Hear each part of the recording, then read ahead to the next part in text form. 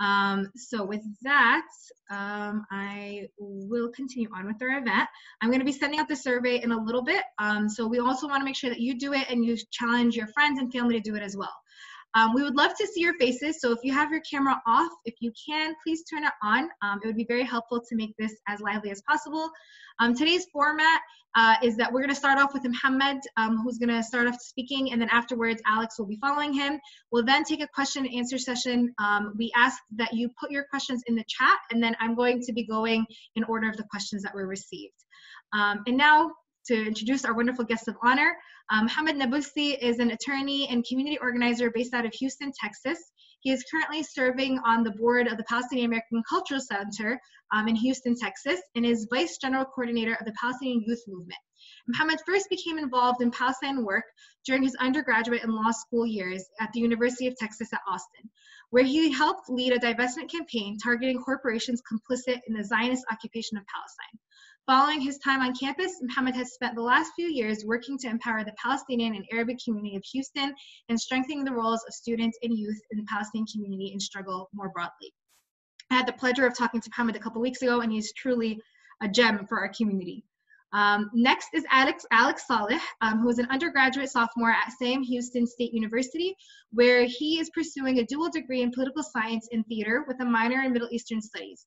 His research interests focus on the role of cultural production as a tool for political mobilizing in the Arab world post 1967. As a Palestinian, Alex's dedication to social justice is grounded by an unwavering commitment to the liberation of the Palestinian people and all those struggling without, against colonialism and imperialism. Alex works closely with a number of organizations that engage with transnational movement building and amplification of Palestinian demands for freedom and liberation, of them being Students for Justice in Palestine and the Palestinian Youth Movement. At Sam Houston, Alex serves as an ambassador to the Middle Eastern Studies Department. In his free time, Alex enjoys listening to music, reading, and hanging out with friends. Without further ado, Mohammed, the floor is yours. Thank you very much. Thank you so much, Rania, and um, thank you for organizing this event. And I'm so happy and honored to be here joining uh, PAC New Jersey. Um, and thank you for all of you who are in attendance. Um, it's really uh, great to have this opportunity to share some words with you. Uh, I just want to briefly uh, give some background on who I am. Um, uh, as Rania said, my name is Mohammed Nabulsi. I'm an organizer based out of Houston. Um, I came up as a student and youth organizer, and so really I'm speaking to those experiences. But like many of you, my first experiences with any sort of Palestinian activities came when I was very young, and my parents would take me hand in hand to protests. So I can remember very early on um, being at protests, looking at the guy who's sitting on somebody's shoulders, chanting and thinking, I wish I was the person that was on his shoulders. Um, but now I guess I get to be that person um, or play a similar role. And so I'm excited to share with you all about a little bit about the history of Palestinian student and youth work, uh, both in Palestine, really globally, and in the US. It's going to be a brief discussion of it just to give you all some context. And then I'm going to talk to you all about the role of students and, and youth, why uh, this category of people are, is really important and critical for our struggle and, and, and for forwarding our struggle. So um, I'm with the Palestinian Youth Movement. I'm the vice general coordinator of the Palestinian Youth Movement. Um, I'm also on the board of a PAC. Uh, the it's a similar to the PAC that exists in New Jersey. Uh, it's a community-centered uh, organization, um, and so I have the the fortune of being on both sides of the the terrain. I'm one foot on campus, one foot with youth, but also one foot in the community, really engaging with different generations. Um, the PYM specifically, which is what I want to talk to you all about today, is a it's a transnational grassroots organization that's dedicated to bringing youth, like many of the people here in attendance, back into our struggle. Um, a lot of the times, because we exist in the diaspora, we lose our connections to our struggle. And what we're doing is bringing you all back in, bringing us in, so that we can advocate for our struggle and so that we have a, a sense of uh, responsibility towards uh, advocating for our people. Um, the PYM engages in a, in a wide range of activities, um, but really um, the goal is about rebuilding our institutions and our participation in our struggle. And so we do communal work, we do BDS initiatives with local grocers, Uh, we've been doing COVID response work, relief work, such as what PAC New Jersey has been doing. We do cultural and educational programming.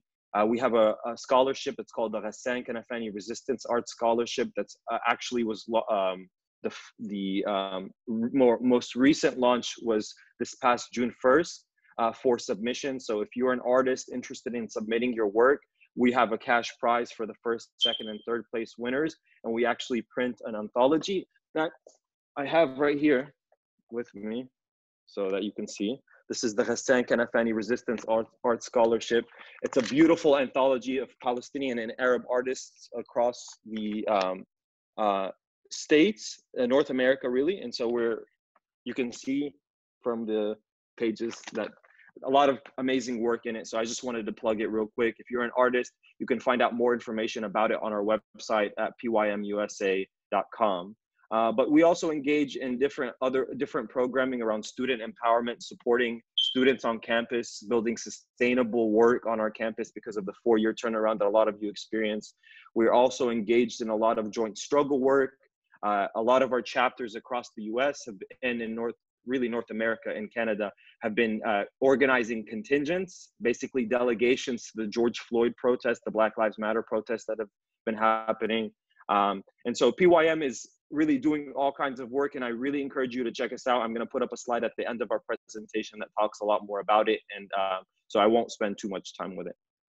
So now what i what i really want to do is talk to you briefly about the history of student and youth work um, following the nakba in, in 1948 uh, what the palestinian society experienced was um, obviously a catastrophe but what that meant specifically was the um, governing bodies that uh, we voiced our opinions through as a people were dissolved.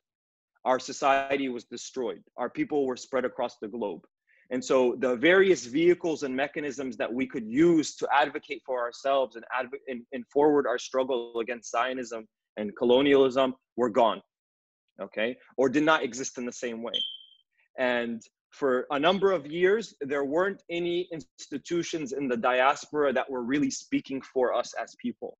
Um, and that's when really there was a critical moment in the late 1950s following the Nakba that we started to see Palestinian youth, really Palestinian students, on their campuses in the surrounding Arab states, specifically in uh, Egypt and Lebanon, start to organize themselves and they started to do things like commemorating events uh, in our history, um, advocating for our st- struggle, doing cultural programming, a lot of the things that youth like us do now, okay, and our institutions do now. And specifically, um, if in 1959, uh, what we saw was the establishment of the University of Cairo Palestinian Student Association. And what's really noteworthy in this is the, the president of the student association. It, would eventually become the General Union of Palestinian Students. The president was Yasser Arafat.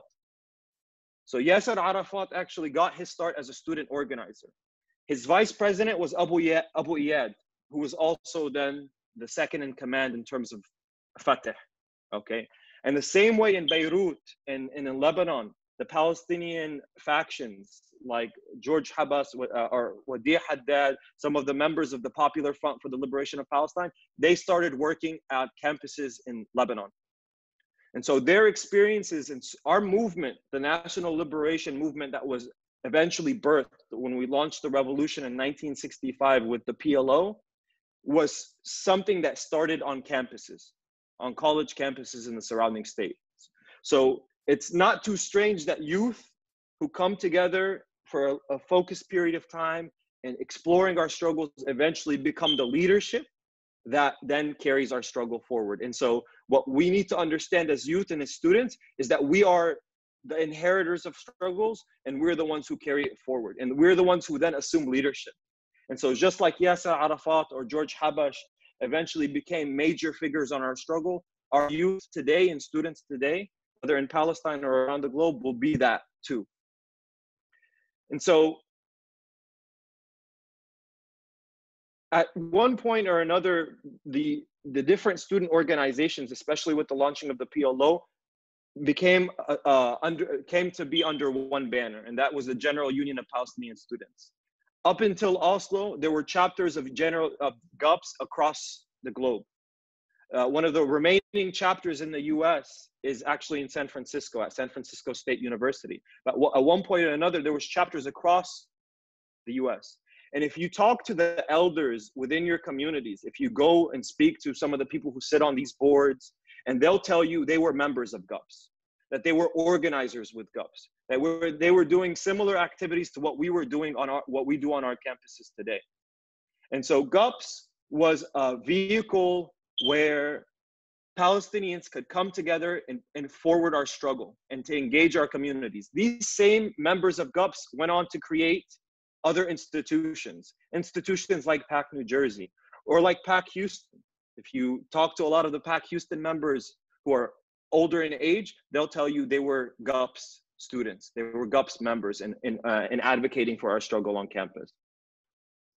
So why youth or students? What's the significance of being a youth, a, a person who is young in age, or being a student, someone who is located on our campus?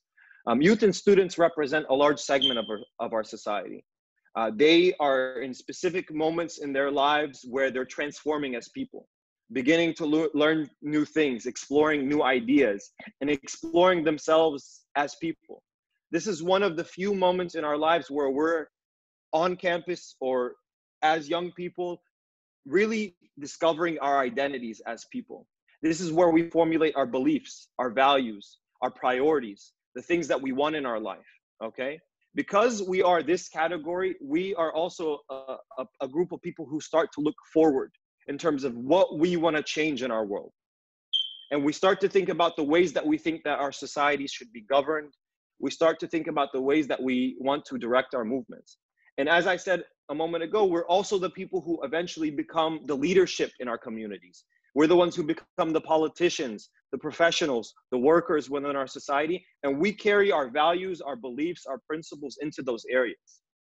And so if you think about the work that we're doing on campus or with with youth, whether in high school or elsewhere, we're intervening as Palestinian organizers at critical moments in their lives with youth. And that intervention is an, intervention, an intervention that is calling for justice for our people. That's why when you look at, for example, some of the emerging movements like If Not Now or Jewish Voice for Peace, a lot of those people encountered Palestinian youth, Palestinian organizers who intervenes in their lives at specific junctures and allowed them to see what has otherwise been hidden. Okay. Those interventions, those same people that are exposed to us on campuses or in high schools or in our community, then carry those values and carry those principles forward. And now you can see, for example, in groups like If Not Now, the, the Jewish organization that's pushing the Jewish community on, on its support for the occupation and Zionism, these are the same people who are now leading the charge within their communities for change. And so, just as we carry the flag, the banner of Palestine, and the banner of justice, now youth elsewhere are doing the same thing. You can see that in the Black Lives Matter protest. If you go into the BLM protest and you look around, the vast majority of people you're going to see are going to be young people. The people who are carrying the banners on their campuses, pushing for divestment from uh, from the prison industrial complex. Those are youth, okay? And this means then, as a category of people, as a, uh, a class of people in our society, we are positioned in a very particular way to be able to influence and change our world. We are changing our world for the future. Our impact isn't necessarily going to be now, though it can be. Our impact is much greater felt for the future. In the same way that Yasser Arafat in 1959 was the president of the Palestinian Student, Association at the University of Cairo, only to begin become the chairman of the, Palest- uh, the Palestinian Liberation Organization demonstrates the capacity of youth to be the change for the future. So, what is the role of youth and students? And I'll let Alex focus on the ways that students can engage politically uh, on our campuses. But what I want to talk to you briefly about is what is our role as youth and students? Uh, youth and students are, as I said, the people, a class of people who will carry the torch. They must engage in work at an early age. This is where youth and students develop values, skills, experiences, networks, and connections. Youth and students also tend to be more forward thinking and open minded. They should act to push communities towards different ways of approaching our world and our obstacles. They have the space to test new ideas, new structures, new approaches. And we see this in the way that, for example, youth now who have entered into, for example, the Bernie Sanders movement, the movement that is calling for uh, a, a radical restructuring of our society, those are largely the base of this movement, the platform that Bernie Sanders is putting out, are youth. They're imagining a different world. We're imagining a different world, okay? And we have an opportunity to push for a different world. And so that's the role that we should assume. And we should take it on with seriousness and responsibility because it's it it the stakes involved are whether people have food on their table whether people are, have access to healthcare whether people have access to employment whether our struggle for justice is amplified and centered in every single struggle. You another example is we also see that there tends to be differences between our generations and the generations that come before us okay? Youth play a critical role in pushing our generation, the older generations, to think in a different way and approach our problems in a different way. We can think about this, for example, in the ways that the older generations who tend to be immigrants, first generation immigrants, versus us, the youth and students who are born in the States. We're a little bit less hesitant to speak out on issues. We're not worried about not all of us, obviously, there's exceptions, especially recent young immigrants, but we're not worried about some of the ramifications and backlash that we would otherwise experience from that the older generations carry before them with them. So, for example, I can tell you an example of my dad. You know, my dad when when my when we first when my parents first came to this country, my dad and his family, uh, there was a lot of hesitancy on their part to participate in any sort of political activity, to be at protests, to raise their head too high. If they got bullied in schools, keep your head down. We don't want to we don't want problems with immigrations. We don't want problems with the state. My generation and our generations that were born here and our children that will be born here don't have those hesitations. We need to use the the privilege that we have as citizens here in this country to push the boundaries of what is deemed um, safe or careful we have the opportunity to be able to really forward our struggle and push for things. And I'll let Alex speak to the ways that, that that's done on student campuses. But when I was on a student on campus, we were disrupting events. We would go into events that Zionists were hold that we knew they were whitewashing crimes against our people, and we would disrupt them because we had nothing to fear and we had truth on our side. It's this sort of spirit that we carry with us that invigorates not just everyone around us, but our own communities and the older generations. It's this sort of fervor that we carry as youth and students that will advance our struggle. And so, what I'll conclude with is this final point is um, you as youth and students, and those who aren't youth and students, the older generations, we need to invest in our youth. We need to support their work. We need to create programming specially catered to them. Okay, and we need to give them a home. Palestinian institutions following Oslo dissolved. GUPS, the General Union of Palestinian Students, there are no longer chapters. Our task and our responsibility, and one of the, the main visions of the PYM, is to rebuild those institutions, to recreate the, these homes, just like PAC New Jersey is a home for your community. We need to have a home for every single Palestinian community in this country.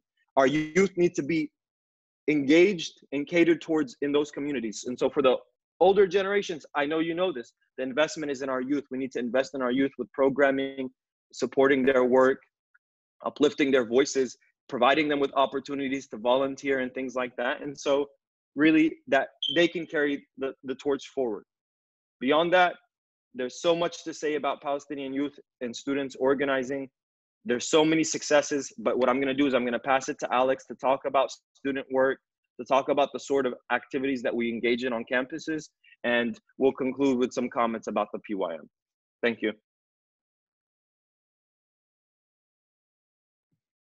Thanks so much, Muhammad. Um, that was awesome. Yeah, I, I want to start this discussion by framing it on sort of like the history or the, like the more recent history of Palestine organizing on campus. And um, I want to start it in 2003 with Wayne State University.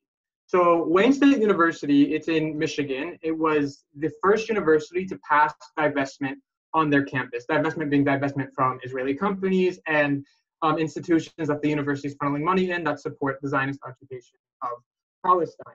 And um, this is this was in 2003, and it's like pretty politically unprecedented for a couple of reasons, right? Number one, the official BDS call by the Palestinian Civil Society for the boycott, divestment, and sanctions of Israel didn't come until 2005. And their three points of unity platform did not come until two years after this um, divestment in 2003. But, but second, it's also politically unprecedented because in the history of the U Michigan University system, there were two divestments. One was divestment from apartheid South Africa in 1978, and the next one was um, in 1999 against Big Tobacco companies. Those were the only two divestments. And the university's policy, which it says on its website, is um, they will divest if something is, quote, is antithetical to the core missions of the University of Michigan system and therefore merit divestiture. Um, and so I want to talk about the guidelines for divestment because they're not easy, you know, especially in a rigid system that that UMich has described on their website. In order for divestment to proceed, the group of students, in our case, Students for Justice in Palestine, um, that are pushing this must meet these three guidelines. So number one, the concern to be explored must express the broadly and consistently held position of the campus and community over time. Um, number two, there must be a reason to believe that the behavior or action in question may be antithetical to the core mission and values of the university. And three, there must be reason to believe that the organization, industry, or entity to be singled out may be uniquely responsible for the problems identified. So, in order to achieve this, in the context of no previous divestments, in the Palestine solidarity sphere on campuses. Um, in the context of, like Muhammad said, a post-Oslo organizing sphere where the student movements of GUPS and these other institutions have sort of fallen, um, the work of the SJP chapter at Wayne State was intense. So the main things they did, like the three things they accomplished, and it was a testament to the hard work of the students, were number one, building sustainable relationships and coalitions and making Palestine a central topic for students. In order to push this BDS resolution, they had to make they had to position Palestine in a way that it was specifically relevant for students on campus. And it is in a number of ways. You know, I like this I'm not the first one to say this, but Palestine for a lot of students is the the doorway to a much bigger world of social justice issues for what Palestine represents. So with no political precedent, they were able to do this on their campus. And this is also a testament to how organically people gravitated towards the Palestinian cause for liberation. Um, especially because repression isn't new and it's not innate to Palestine, nor is monetarily supporting institutions that support um, injustice, oppression, occupation, etc. So it's really significant that they were able to do this with, with such um, you know, with, with no real political history in the Palestine sphere behind it, this divestment. The second one is that the student movement very like systematically shifted the balance of powers. And when I say systematically, I mean there was like a method to it. They were they were you know engaged with the campus voice, with the students. They were engaged with the professors. They were engaged with the administration. They were engaged with the community. They were systematically addressing these different spheres in order to push their cause. And I think that's really important to know, especially at an institution like Wayne State, where there is a minor in Israeli studies and a number of colleges, specifically noting the Liberal Arts College and the, the College of Sciences at, at Wayne State, have professors who specialize and programs that are connected to Israeli institutions a number of research is done out of the Hebrew University and other stuff, making the institution, I mean, very deeply ingrained with Israeli academia. And if we understand university institutions to be a place for the expansion and diffusion of knowledge, then it's really significant when a Palestine Solidarity organization that is run by students becomes the narrative, becomes the hub people are coming to to learn about Palestine and not the institution. When you have like an MSA, a um, Muslim Student Association, or another organization that are wanting to engage with Palestine, who are they going to? it's not the professors it's it's the student group and i think that's that's really a significant feat for the the movement and lastly i i to just to this point specifically i want to really emphasize the role of building power in this because like muhammad touched on the role of students building powers uh, the role of student building power in the movement is largely disruption yeah, like for example, if I were like a school, an elementary school, right, and the teachers wanted to strike, if the teachers went on strike, then the students couldn't come to class. And because the students couldn't come to class, the parents would have to leave their work and take care of their students. So there's very tangible monetary impact. But the role of students isn't like that. The, the university institution does not, they don't really have any stakes in its internal functioning. So the fact that the students were able to do this, despite the fact that there was no stake in the internal functioning, is another testament to the role of disruption and how they were able to build power, which they did through which they did so through sit-ins at the Board of Regents office, demonstrations on campus, etc. You know, and it was because of this effective use of student power that divestment um, at Wayne State was able to proceed. You know, and um, Wayne State set a really strong precedent for the student movement to follow. The tactics and strategies that were employed at Wayne State have been like sort of like the collective knowledge now of SJP chapters. It's written in books, it's written in pamphlets on how to divest. And if we look at the movement today, it's grown, I mean, tremendously. Today, there are over 250 student organizations dedicated to justice in Palestine across North America. Of them, 75 student organizations at these universities have successfully coordinated BDS campaigns um, on their campus. Um, and now to talk about sort of like the logistics and the specificities of SJPs, um, you know, these SJPs act individually and they, a lot of these students that gravitate to SJP are from the communities that they then attend college to. And as a result, I mean, they serve as like sort of a hub and a vehicle for progressive politics and political education, both on campus and the community.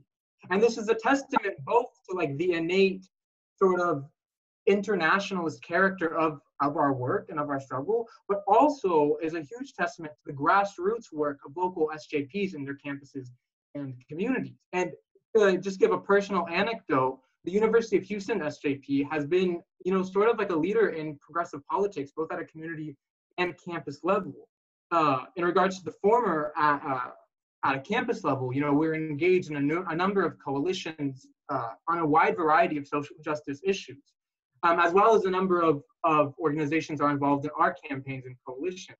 Additionally, before the emergence of PYM and this other um, these other like Palestinian infrastructures in Houston, SJP was sort of like a door for community organizations also to get in contact with the Palestine organizing world. So like SJP Houston has a lot of contacts with churches in our area, with masajid in our area, you know. Um, and then in terms of like the political side, we've been involved with workers striking at our university. We've, we've been involved with that. Uh, we were part of a coalition that was, you know, defending Kashmir and and uh, and we were part of like an NAACP silent museum.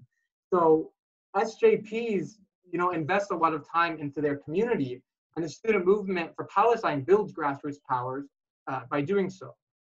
Um, and now, so that's sort of like at a local level. And despite the fact that these SJPs function autonomously, there is still national coordination.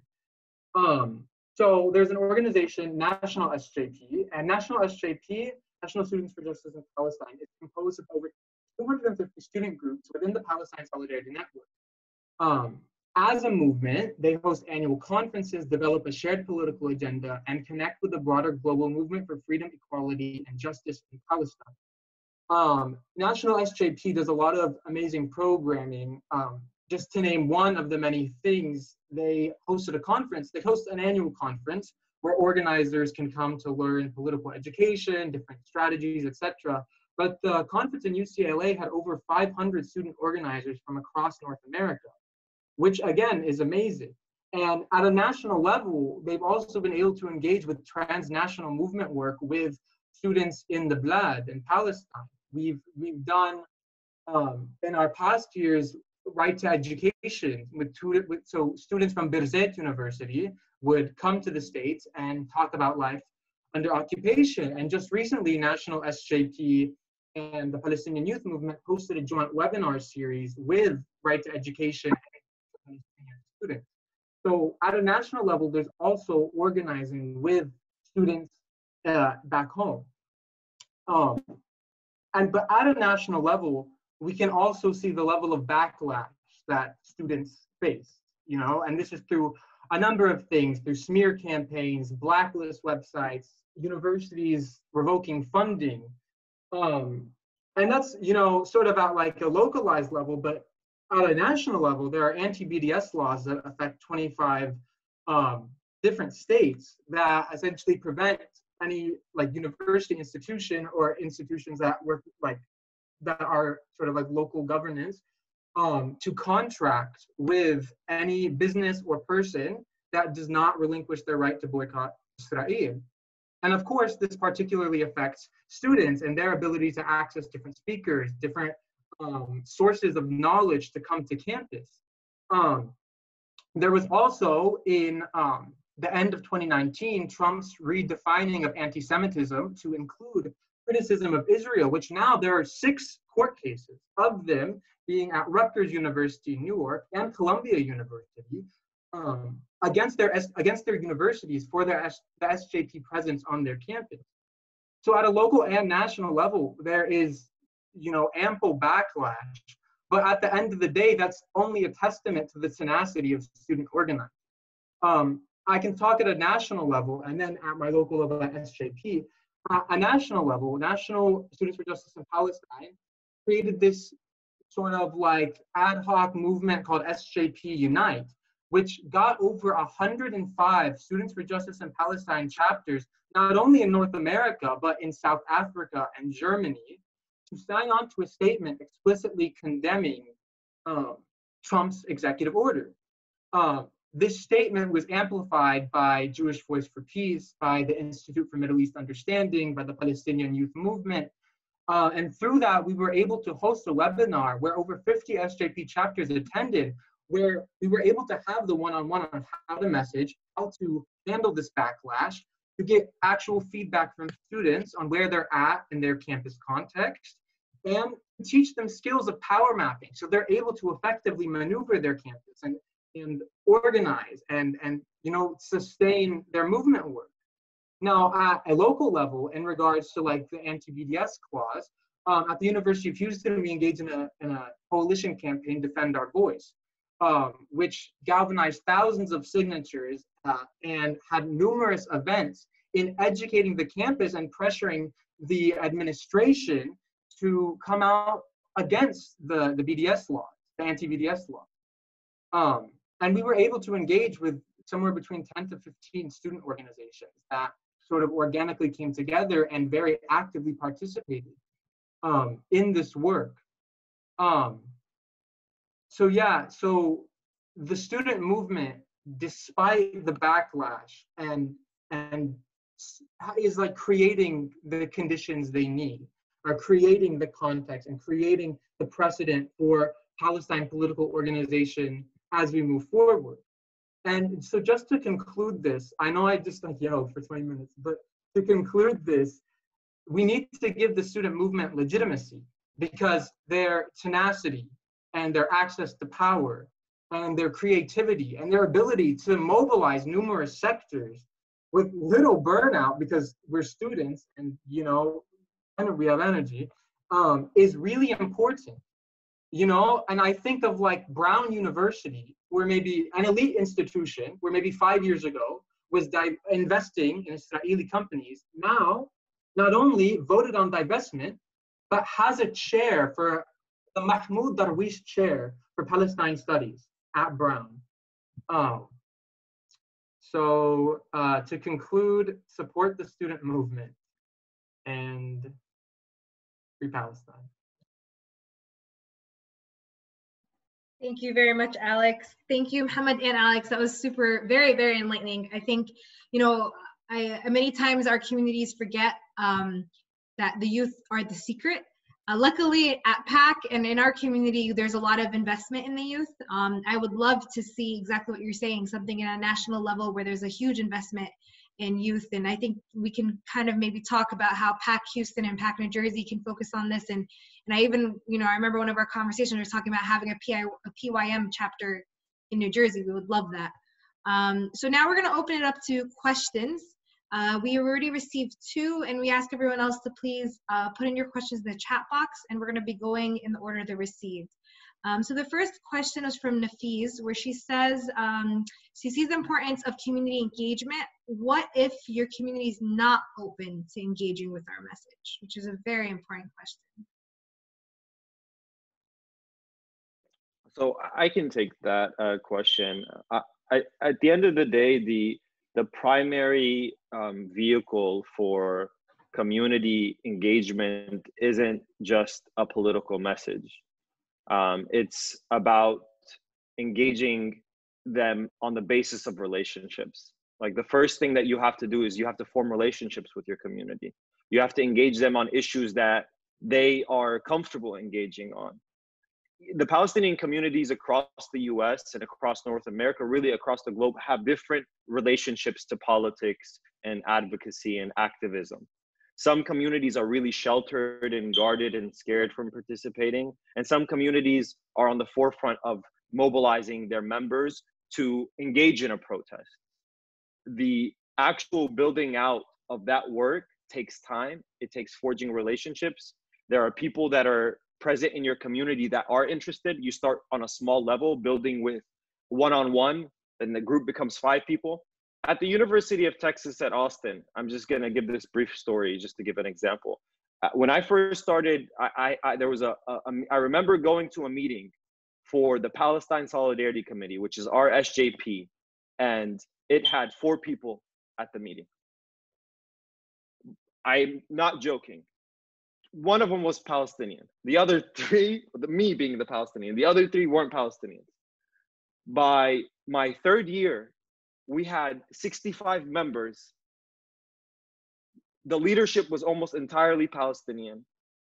We were carrying divestment campaigns, doing protests, but it started at that four-person meeting. And so this this sort of work, especially in the community, takes time. It's very slow. You build it meticulously. You engage in programming that's a little less controversial, like cultural programming. Nobody's gonna say no to dabke. Nobody's gonna say no to knafe.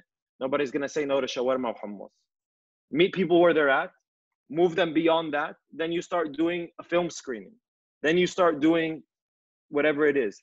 But the truth is, our communities, the Palestinian communities in North America, the Palestinian communities in the diaspora have uh, a flame inside them.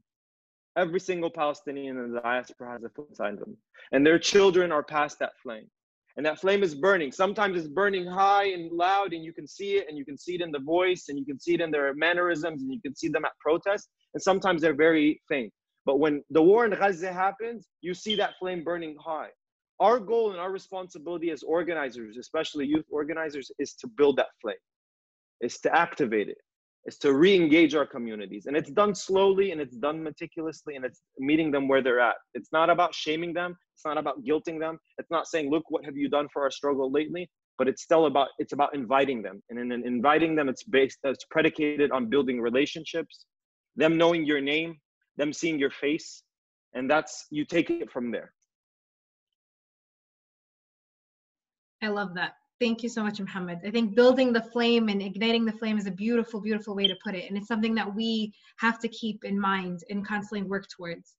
Um, Sufyan has a question where he says, thank you both for your time and efforts. Uh, with many organizations, both previously, previously established and newly developed, do you see an issue with being able to bring Palestinians together? For example, you have SJP, AMP, PCRF, etc. What I commonly see is each organization has its audience, but when mentioning a collaboration or joint effort, it becomes a weird vibe. Good question.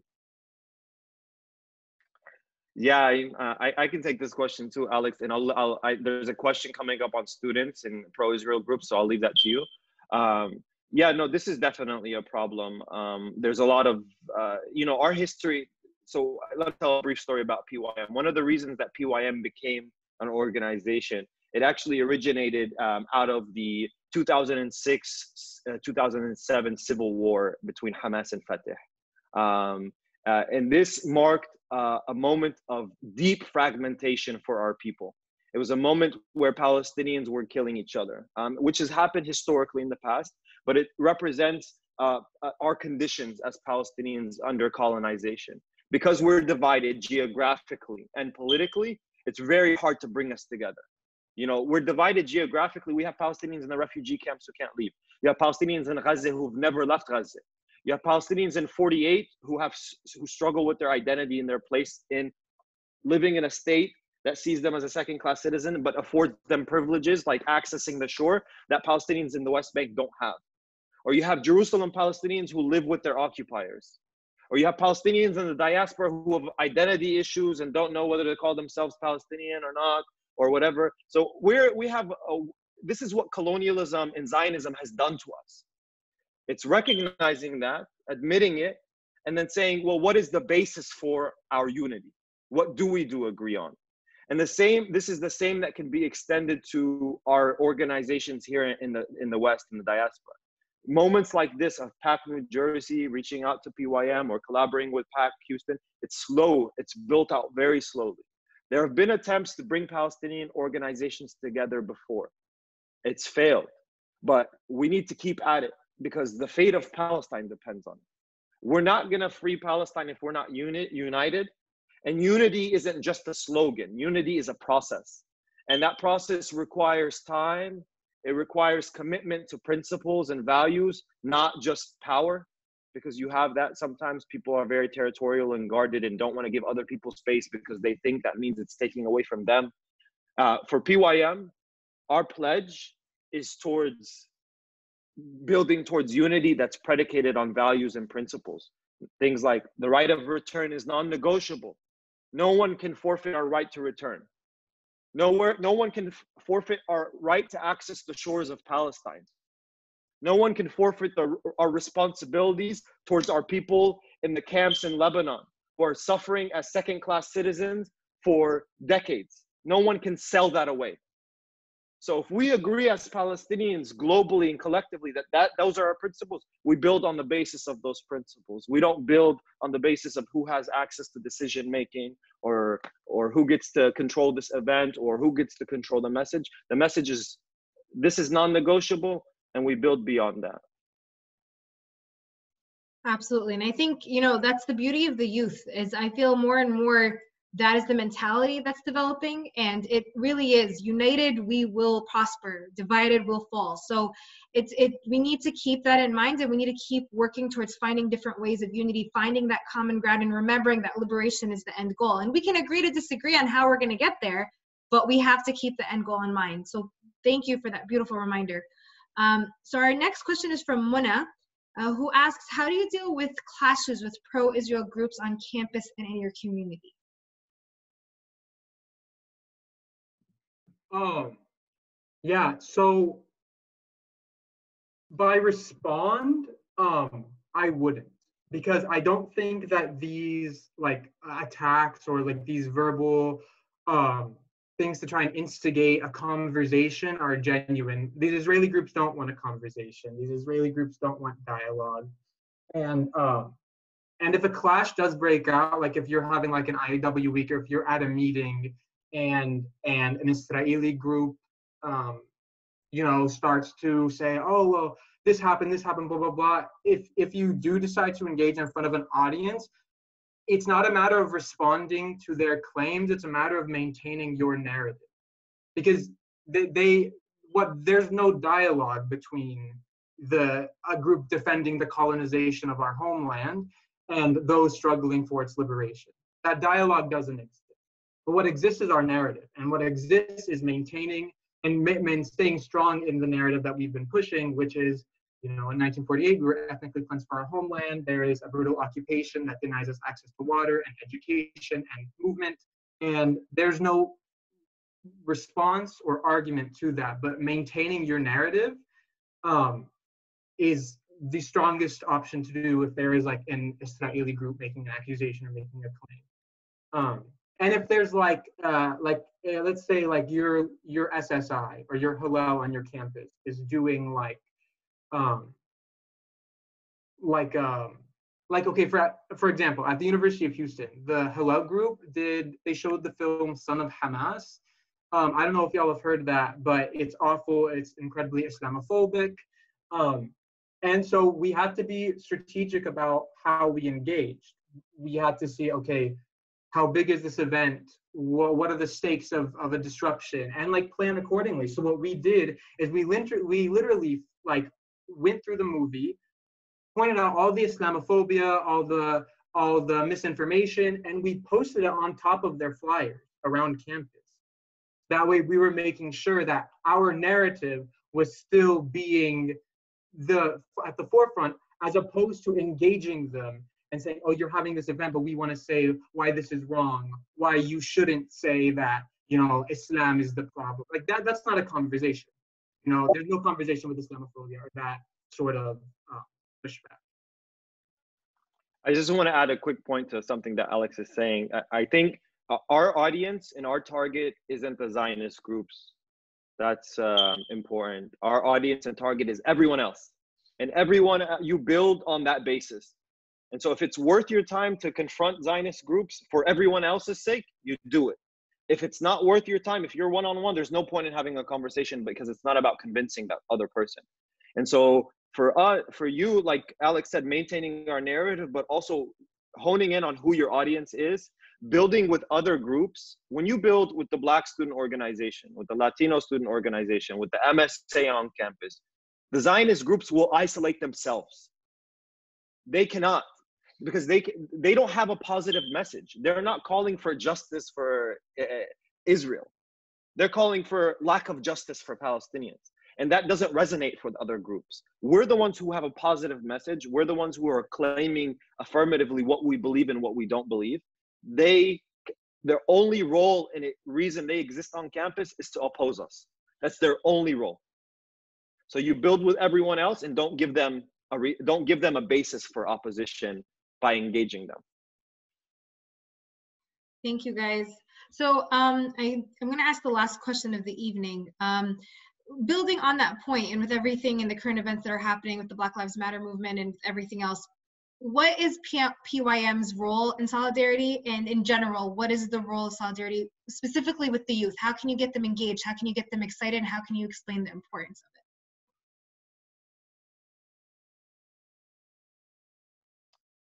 Um, yeah, so I, I think our, our struggle is predicated on a number of principles. Um, it's one of them is justice. Um, the other is liberation. Um, we believe in a number of things for our people our, our people have always been at the forefront of reaching out to other struggles. You know, at the height of our revolution, what we call the Palestinian Revolution, Palestinians were engaged with anti colonial movements in Ireland and South Africa, in, um, in Angola, in Southeast Asia, in Latin America. That is the that is the tradition of the Palestinian movement is internationalism, is solidarity, is recognizing the shared principles and the shared enemies that we have. Not only do we value the same things, the same people want to put us down. The same systems want to put us down. They use the same tear gas, they use the same rubber coated bullets, they do they use the same tactics and techniques. We see this in drawing on the commonalities between the Israeli training of police. Our responsibility is to fight against the system that system is oppressing people here. If you want people to fight the system that's oppressing Palestinians, well, you fight it on the basis that it oppresses them too. And that's how we reach out across lines. Nothing makes our struggle more successful and more principled and advances us better than supporting the struggles of other people who are under oppression. When we were at we were at a conti- we organized the contingent in Houston that involved the PAC, PYM, and SJP at UH to go to um, the George Floyd protest that occurred on um, this past weekend, and we had a banner that says Palestinians for Black Liberation, and I cannot begin to describe the amount of outpouring of support we received from our black brothers and sisters who were at the protests who would chant things like free palestine on us but we weren't trying to make it about palestine. But they did it because they recognized that we were there in support of them. People would stop with us stop and talk to us and ask us questions. I had a a, a member of a black church a congregation of a member of a black church stop to talk to me and he said i've heard so much about palestine but i really don't know what to believe and he's like, can you tell me like what's going on a little bit? And so I, I briefly talked to him, but what I stressed is the the principle of internationalism that our, our movement has carried, the fact that we've supported the black struggle historically. And I'm, I'm not exaggerating. This man, I met him for the first time, and within a, a minute of talking to him, he started crying. And he was crying because he's, he was sympathetic for our struggle and our issues, but he was crying because of the emotions he felt from being there for his struggle and feeling the connection with mine in ours. So our the role of youth, to Build Coalition on campus, to push our community to participate. Our communities have a lot of issue on the black black struggle. There are we support it, but there are those who don't. Okay, we have to struggle amongst them. We have to struggle with care and respect and patience, not with canceling and call out. That's not how it's going to get done. We got to move our people slowly and convince them on the basis that they should support these things. Um, so definitely 100% PYM believes jo- joint struggle is an entire front for us. We believe, and we call it joint struggle because we are not allies of these movements. We are in struggle with them. And that's how we see it, and that's how Palestinian youth should see it as well, um, um, in terms of how they view other struggles. Absolutely. I love that that you know it's it's our joint struggle and that's the reality. It's our joint struggle to a better world free of oppression and a world filled with justice. Um, I want to thank you both very much for this very enlightening talk. I'm walking away from this very inspired and having a lot of different ideas and trying to figure out different ways we can collaborate.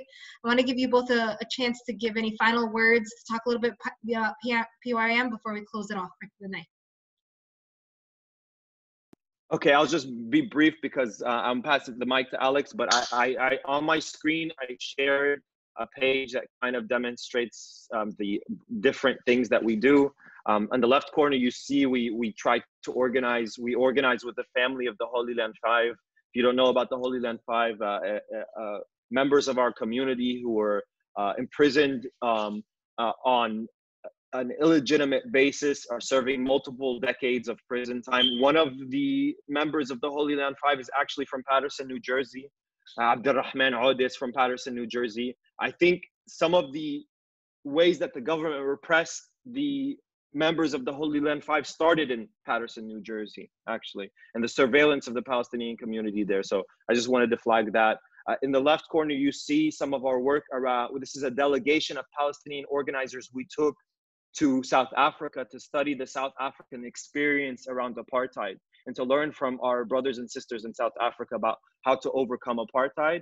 And really, the, what we studied is the, the difficulties that they continue to face. Even with the fall of political apartheid, there's still economic apartheid. COVID, community response work like um, uh, PAC New Jersey is doing. There's a protest on the far right corner this is the summer school in the middle. Every two years, we host a summer school where we bring Palestinian Arab youth together to do to engage in political education and skills training and things like that. We uh, open it up. Um, we'll be sure to share it with your audience as well, PAC New Jersey, and then obviously the Ghassan Kanafani Scholarship. This is just some of our work.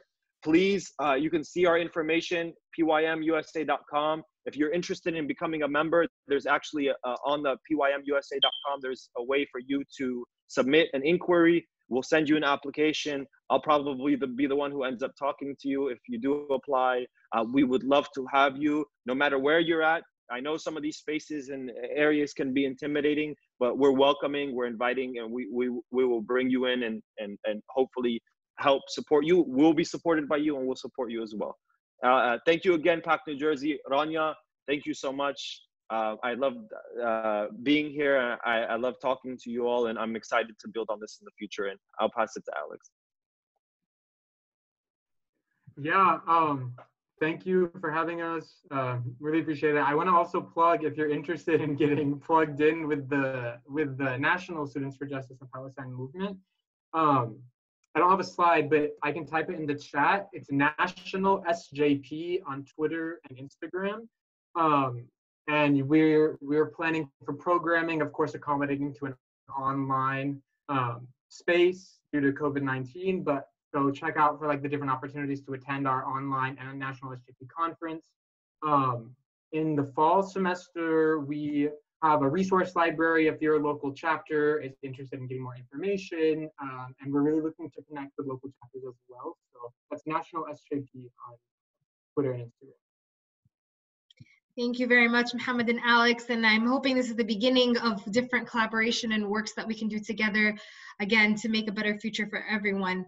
Um, so thank you very much. We hope this is not the first or not the last time we will see you. And we hope, you know, we're going to continue this collaboration in many ways. Um, so please, everyone, make sure to take the census at your earliest convenience. And we challenge you all to get five other people to take the census as well. These webinars are brought to you by PAC. Don't forget to see a full list of all of our upcoming events and to donate to keep these programs going, going please visit www.paccusa.org. We hope to see you in our future webinars. I want to remind you that next week we are scheduled to have Suzanne Abulhawa and the following week we're scheduled to have Anarwa. If you liked anything you saw, please support and donate what you can at www.paccusa.org.